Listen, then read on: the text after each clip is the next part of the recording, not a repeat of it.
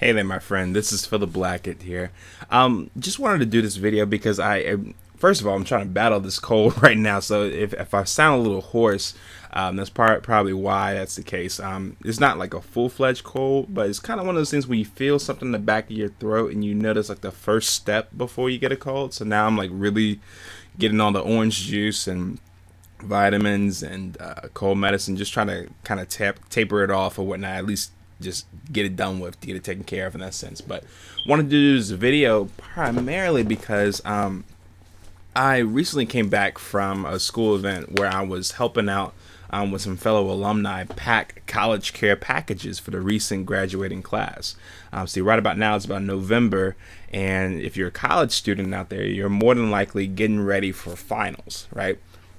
Is the one thing that's separating you from spending time with your family and Christmas time in that sort of sense as well for the holidays and winter break and that sort. You got to pass these final exams. So obviously, I remember when I was in college back then, it was a pretty high stress environment at that point because you wanted to do really well, and also the sense that if you didn't do really well, it you kind of had that fear within you that maybe your job prospects weren't going to be great or your life was going to be better as a result. So there's a lot of pressure dealing with finals in that sense, and just wanting to do well, and especially if you're a Type A personality, um, you want to get the best grade possible. So there's a lot on the line uh, when it comes to that for finals. So what I appreciate, you know, about you know college care packages when I was on the other end this time as opposed to receiving it, now I'm giving it, is you kind of put yourself back in that standpoint, that perspective of when you were in college and what would you have appreciated when you were in that midst of being in the library you know head down in your laptop or in your notebook or you know listening to past class recordings or that sort of thing? You know just really just getting the gist of what your biology class was about or trying to figure out what this you know multivariable calculus was really going on or even just what jazz artist you know did his piece in the 1950s who who knows what you may be you know studying at the time but essentially how can you help somebody else and how can you help pay it forward to somebody else so they can have a better chance a better experience so to speak um, studying for finals in that sense so anyways back into the school event. So i was with a number of alumni. We were working together on that.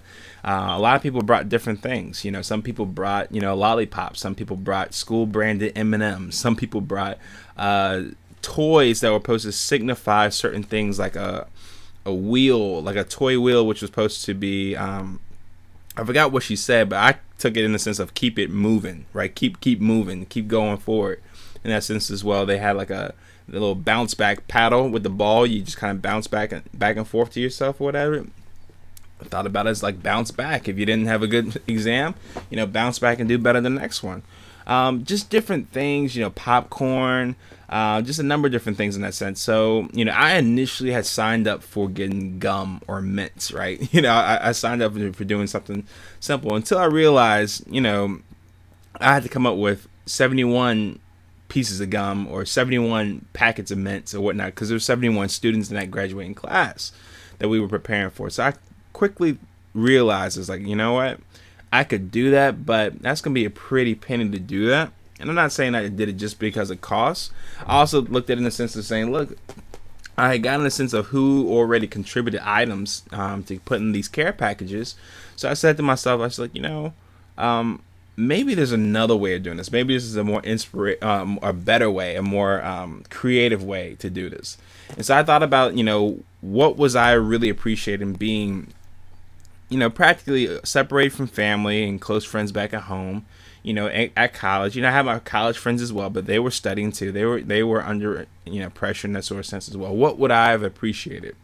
And um, I remember back in Carolina, I had this you know cork board all these different photos I have from back home, especially family, uh, people that meant a lot to me. That was kind of like what motivated me. It was always next to my laptop. So if ever I needed something to kind of keep me inspired, keep me motivated to do um, my work or keep pushing forward or keep moving it forward in that sense, keep progressing, I would look back to the, you know, that cork board and there I would see photos of, you know, my grandmother, my mom, or who knows, a number of different things, right? Like my dog in that sense as well.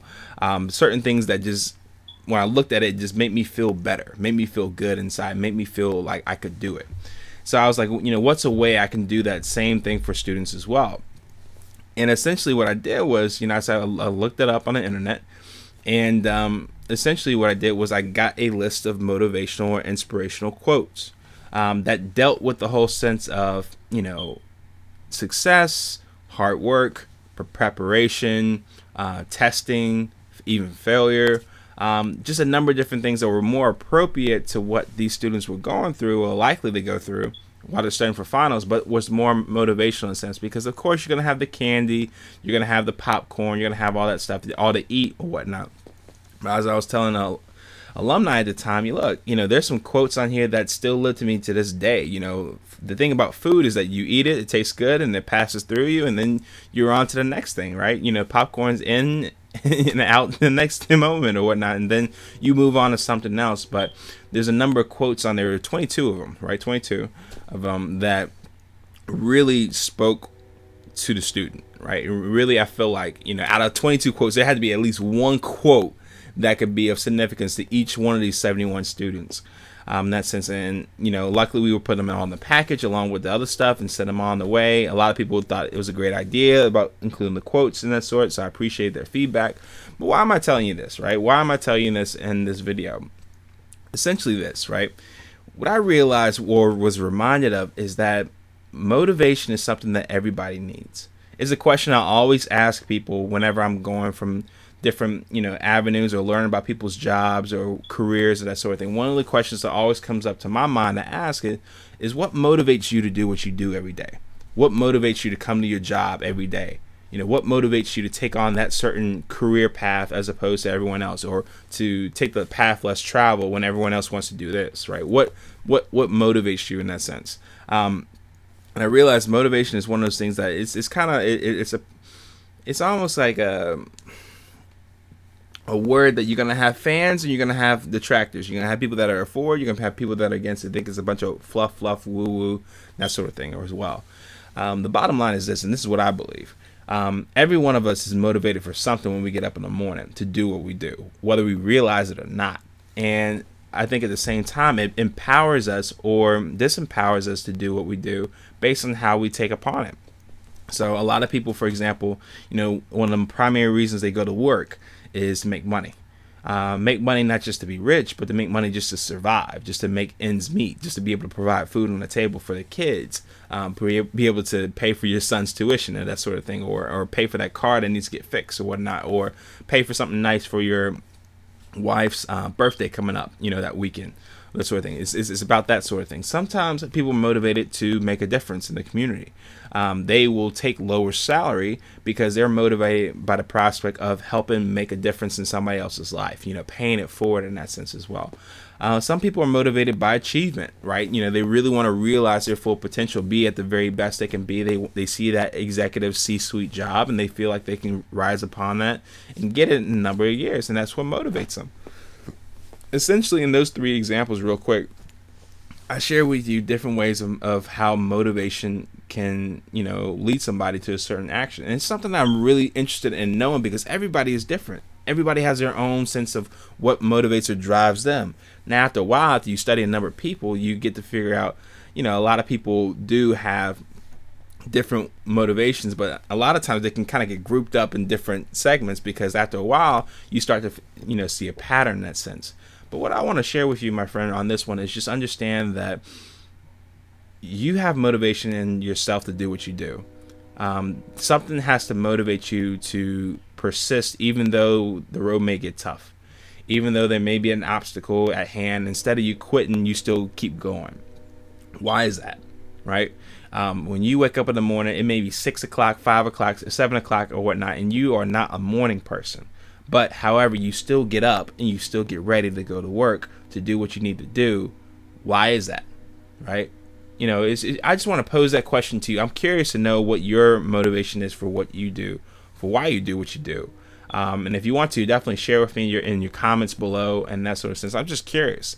Um, to me, um, my motivation um, it comes from a number of different things, but a lot of it comes from nowadays um, just realizing my life purpose. Really, you know, I only have one life to live, and for me to empower millions of people, including you, uh, to realize your full potential, live more abundantly, and pay it forward.